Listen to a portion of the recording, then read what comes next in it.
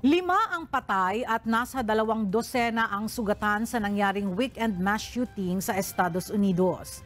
Ilang multiple shooters ang nag-open fire sa South Street sa lungsod ng Philadelphia sa Pennsylvania, USA bago maghating gabi ng Sabado.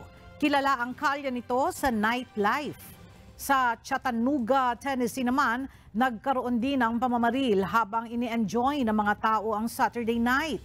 Wala pang suspects ang nahuhuli ng mga pulis sa dalawang magkahiwalay na shooting incidents. Samantalang sa Saginaw, Michigan naman, tatlong tao ang napaslang sa pamamaril ng ah, umaga ng linggo. Sa mga nagdaang linggo, nakapagtala ang Amerika ng high-profile shootings kabilang na sa isang elementary school sa Texas, isang simbahan sa California, isang grocery store sa New York at isang ospital sa Oklahoma.